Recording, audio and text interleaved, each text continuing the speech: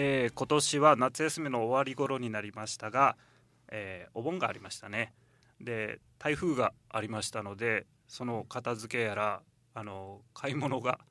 結構大変だったと思うんですけどもでうちのあの水野現場監督と小森広報隊員も調査に行っていただきました。で水野現場監督どうでしたか？はいそうですね。あのー、私はですねえー、素手素手の方にちょっとお邪魔させてもらいましてあの9本流れを全部記録してきました。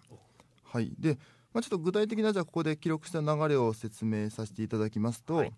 えー、そこの方はですね今すでに住まわれてるんですけれどもそこの家の方はもともと西安室のあの向島西安室の方ですね。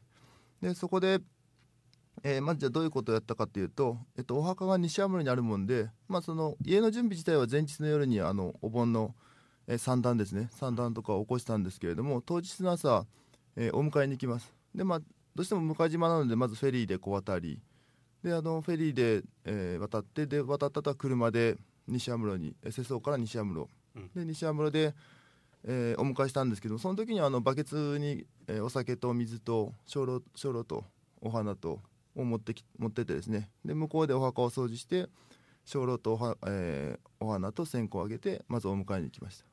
で別に提灯とか私あのここの家では全然使ってませんでしたね。迎えの時はですね。火を入れて持って帰ってくるとかいうことはことはしてなかったです、ね、はい。でまず、えー、お迎えして帰ってきたのは昼ぐらいなんですけれどもで昼から、えー、自宅に招き入れると。でその招き入れる時にはその提灯を家の、えっと、玄関の中のこのちょっと高いところに提灯を設置して、うんはい、でそれであの「ただいま」と「お帰り」というような感じでお迎えが終わりました。はい、はいでお迎え終わるとですね次はあのまず家族全員そこにいる人全員でまず線香をあげてあの先祖様にあのお帰りなさいとお伝えしてでその、えー、一番最初のお茶、えー、そのか、えー、仏壇にお茶と水とお酒を、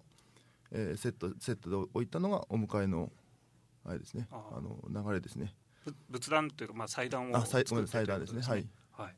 はい、でその後あれですね。本来なんか本来だったらそのここの家ではお迎えは割といつも遅い時間例えば3時とか4時ぐらいにしてるんで、うん、その時間だと晩ご飯出さないんですがなんかその日はもう昼に迎えしたからまあ、うん、先祖さんもお腹が空いてるだろう。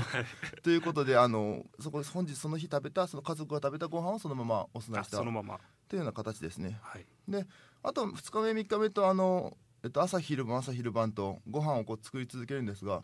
朝は割とやっぱり味噌汁が多かですね。そのそう、えっと、例えばそうめんの味噌汁だったり豆腐の味噌汁だったりっていうのをあげてで昼は昼で、えっと、うどんだったりその、えー、炒めうどんですかね。うどん炒めみたいなの油そうめんのうどん版ですね、はい、をこうお供えしたりとか。で夜はなんか割とその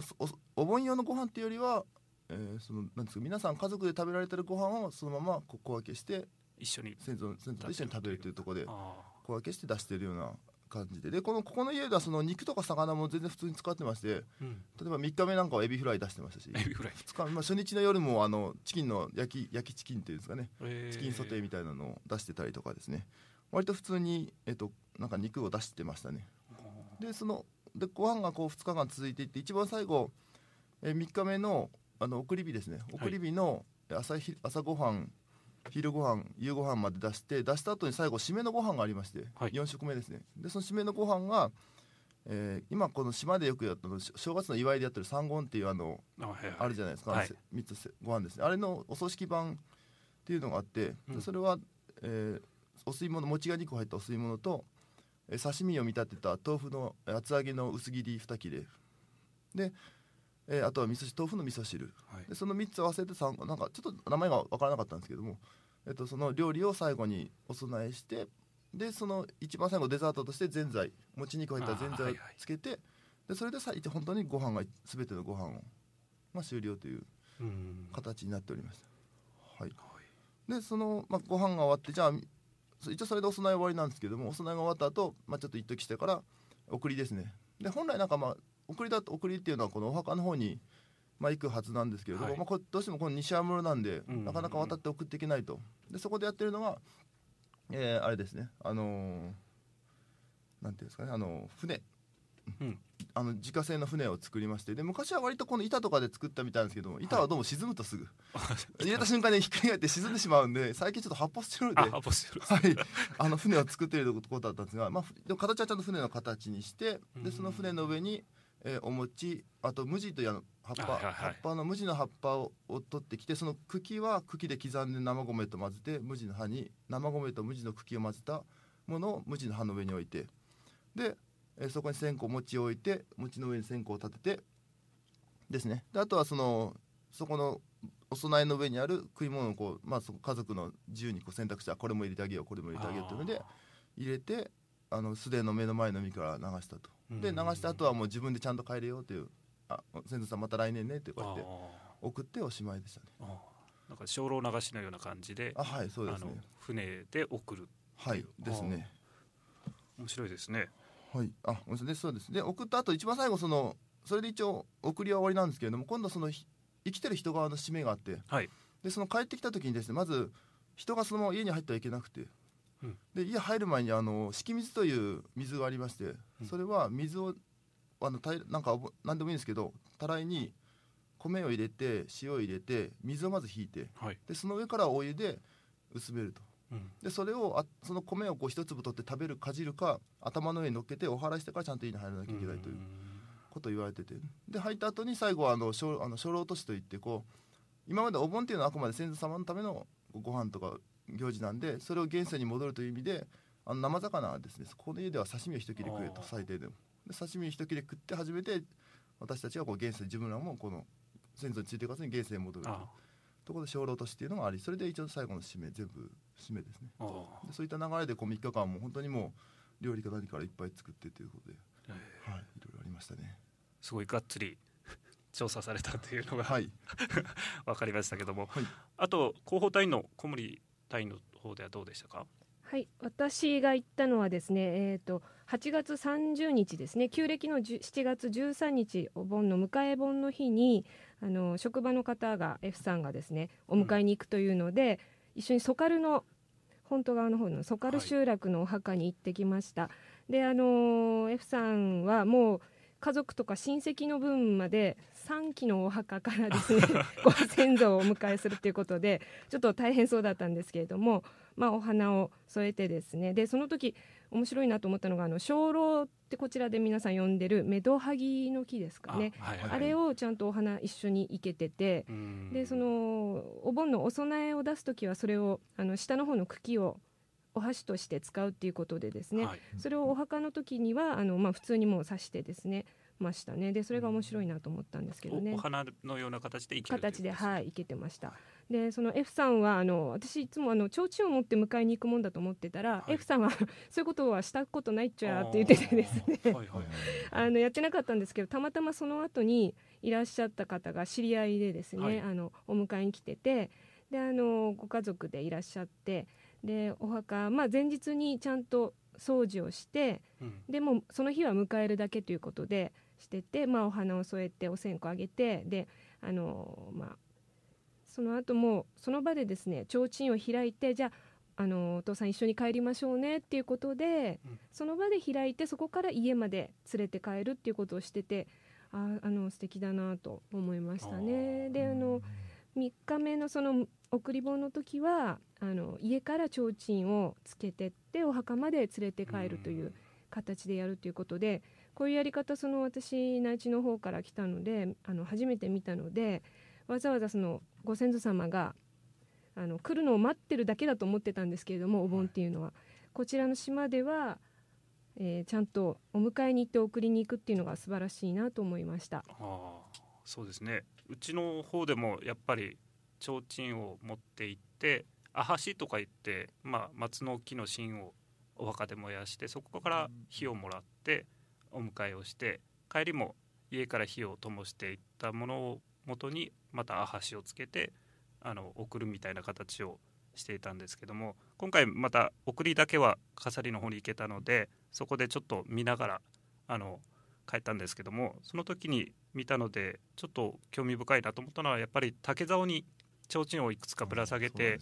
いたという家庭が何軒かあったということとまあそれ私たちの時も初本の時はそれをした覚えがあるのでもしかしたら初本と関係するのかもしれないんですけども飾りの方だとなんかそういうのがあったなというものとあとあのキリスト教の墓地があるんですけどもそちらの方でもやっぱり提灯を下げていてああ仏教行事でもあるんだけどもやはり先祖を思うということで、あのクリスチャンの方もされてるのかなという気がしました。で町さんあの世論の方とかではどんな感じになるんでしょうか、えー、もう皆さんが瀬戸内町一生懸命回ってる間申し訳ないですけど私世論に3日間帰省させていただきまして。申し訳ないことはないと思うんですけど、えー、一点だけね瀬戸内と大きく違うところを挙げるとすると、はい、私の肌が真っ黒なようにあの世論の人はお盆になると先祖に自分の取ってきた魚を供えるっていうのが実はあ理想形なんですね。それで私成人してからというものなんと偉いことでしょう。必ず盆には自分が釣った魚を備えてる。といううん、うちの家では4つ前があるんですけど、はい、4匹は必ず備えなきゃいけないっていうね。なんとあの釣り好きにとっちゃありがたい風習というか、えー、そういう違いがありますね。毎回あの冷凍して送ってたというのはそういうのもあるんですか？そうなんですよ。だから 通販で真空パックをついあの買いましたね、うん、いいいいですよ。あれは。なかなか長持ちしますからね。あれでストックして送るんです。盆用にですね。すごいですね。あの親孝行以上に先祖孝行をしてそうなんですよ。素晴らしいですね。